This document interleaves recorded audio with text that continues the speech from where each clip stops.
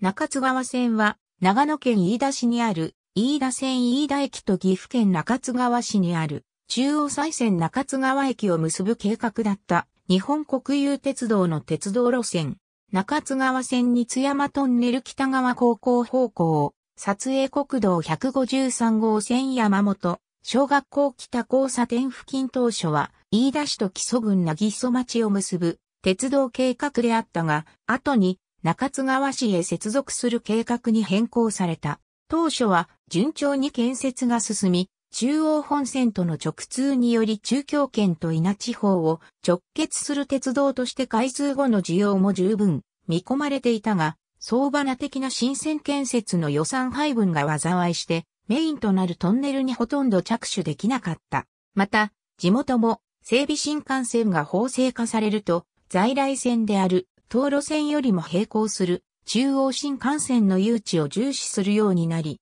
熱意が薄れたとも言われる。1978年の長野国体までに完成させる予定もあったものの、やがて1975年に中央新幹線と同じく東路線と並行する中央自動車道が開通すると計画は頓挫した。なお東路線の計画区間と並行する形で開通した中央自動車道の稲山トンネルは上下線とも全長 8km 以上の長大トンネルであるため、石油タンクローリーなど危険物積載車両の通行が禁止されている。一方、東路線開業時には、飯田線の元前工事駅に石油貨物列車用ターミナルを設置する計画だった。工事は、稲山本駅に山トンネル付近の路盤、トンネルが観光し、全長 10km に及ぶ三坂トンネルの調査口がわずかに掘られたのみで、その他は鉄数のまま終わっている。着工当時、飯田線は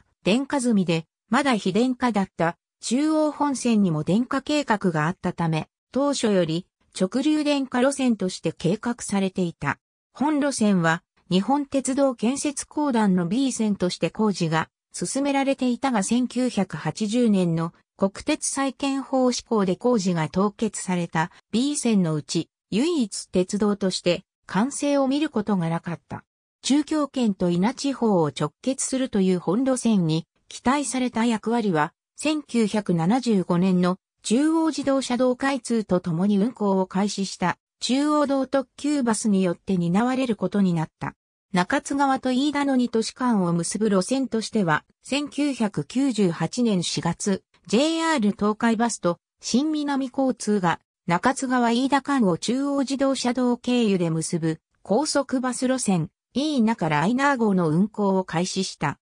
1999年に運行を開始した中央再線の快速列車、セントラルライナーとも結んで集客策が展開された。しかし、途中中津川駅での乗り換えが嫌われたため、すでに利用者が定着していた中央道高速バス飯田名古屋線の旅客を取り込むことができず、2004年10月15日限りで廃止された。現在では中津川駅近辺と飯田駅近辺の両方を経由する高速バスがないため、中津川飯田間を直接結ぶ都市間輸送手段はないという状態になっている。上飯田バスストップ、中津川バスストップ双方に停車する便に乗れば越境可能。ただし、本数は少ないので、飯田名古屋間を結ぶ高速バスを利用して、馬込バスストップ、最寄りの北江名交通三坂小中学校前バス停と中津川駅を結ぶ路線バスを利用して行き来することも